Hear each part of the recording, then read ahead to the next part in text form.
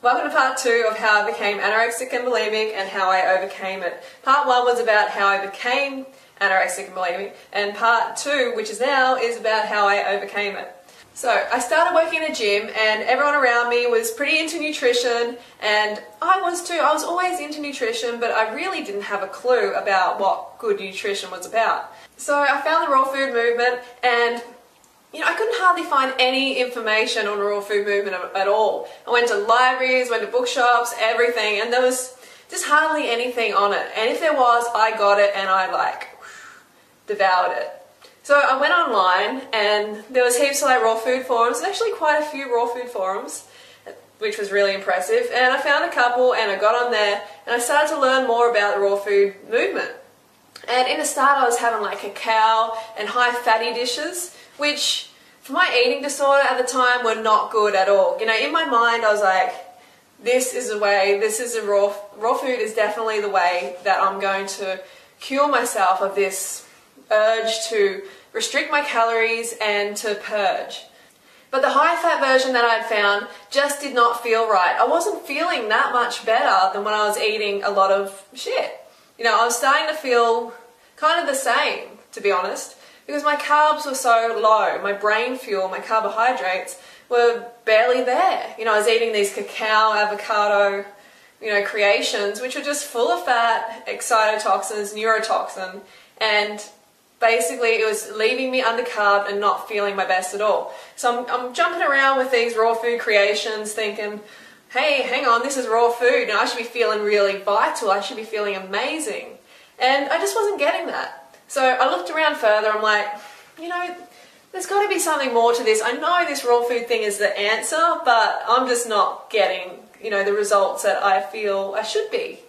So I searched around, searched around. I went to a raw food picnic. There was a girl there. She was eating like 10 mangoes in a row. And I was like, you know, she was really glowing. I'm thinking, this sister, she knows what's going on. Something's going on here. What is she doing? So I gave her a raw interrogation. And she just, you know, told me all about Doug Graham. Before that, I'd only heard of Doug Graham via one of the forums which there was a guy in there and he was totally writing off Doug. He was hating on him big time. And you know, when people hate on other people like that, you know, that just for no good reason, you know, the guy is promoting fruits and vegetables. Come on, how can you hate on someone like that? When people are hating like that, then I just sort of think, yeah, you know, this person loses all credibility in my eyes. And they're not trying to help anyone, they're just trying to put someone down. So I researched further on Doug Graham because he was talking about Doug Graham he's going, oh, you know, Doug Graham this, Doug Graham that, he's this and that. I'm like, all right, buddy, just put some fruit in that mouth and carb up, will you? So anyway, I looked into Doug Graham and found, you know, the most perfect lifestyle around. You know, he recommended so much fruit, and I was always like, I can't have too much fruit because my candida is going to go crazy, which is totally, totally wrong. It's an excess fat in the bloodstream problem, which I'm going to make a video about, so stay tuned for that. I got a consult with Doug. I went on basically Banana Island for one month, and after that I was like, ah, found the holy grail. Woo. Yeah, I did my happy dance. I did my happy dance because I was feeling so vibrant.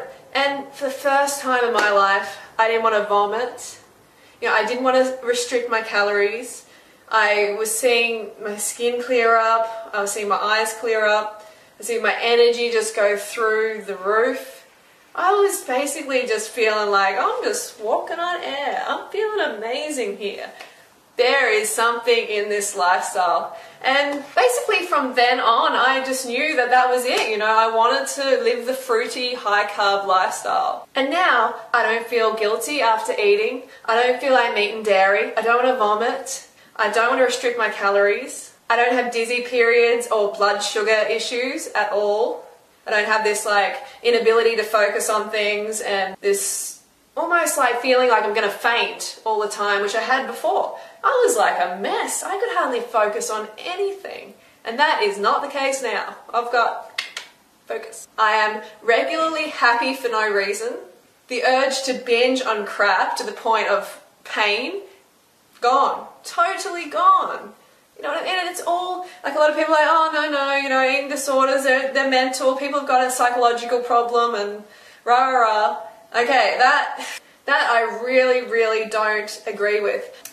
Maybe if that person's brain's been glucose restricted for long enough, for that many years, they may have got brain damage. I don't know, but possibly. But I'm talking about 99% of the people with eating disorders who actually are just undercarbed. I know this is going to sound like, oh no, no, that's too simple, that's too simple, blah, blah, blah, blah. For most people, that is that simple because if you're getting enough glucose to your brain via carbohydrates, then it's going to function properly.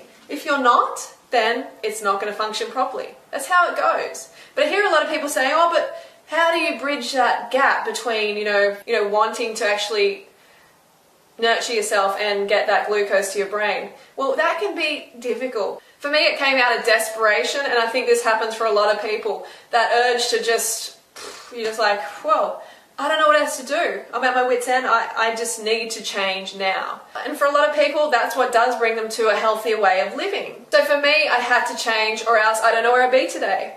Honestly, I needed to get my head together, and I had, and I was getting to the point where I had so much pain attached to what I was doing that one day I just went,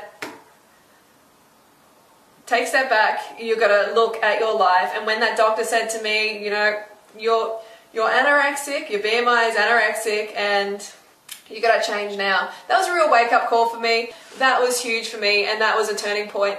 And after that, I began to educate myself. I really wanted to look after myself really well, but I didn't want to put on weight. Ooh, didn't want to put on weight. That was that was it. That was everything. And so when I came to the raw food lifestyle, I'm like, yeah, you know, this this is going to be it. How can I put on fruit on weight with fruit and vegetables? You know, no worries. This will be this will be awesome. And it is awesome, but if you're coming from a background of undereating, of anorexia and bulimia, and you put on a little bit of weight, if your weight rises to a healthy level, that is healthy. It's just this initial period of adjustment that your body has to go through. It has to balance out.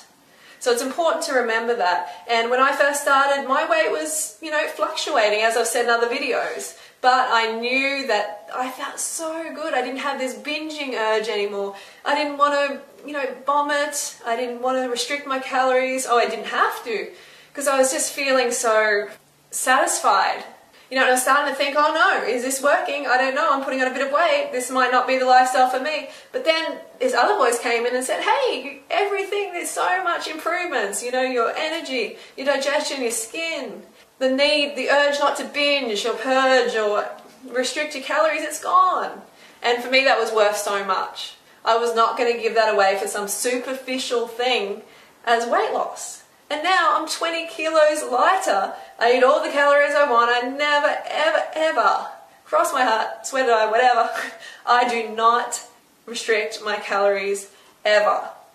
The last time I did it was years and years ago, and God, you know, if you want to live an abundant life, then restricting something like restricting real food, nature's gifts, fruits and vegetables, then you're not going to get it. Trust me, you're not going to live abundantly. You're still going to be in this deprivation, diet merry-go-round mentality. So you've got to step off that and you've got to carb up. So it's all about carbing up. I'm just going to wind up now. So you may have to get to a point in your life where you're experiencing so much pain from what you're doing now that it tips you over the edge into changing.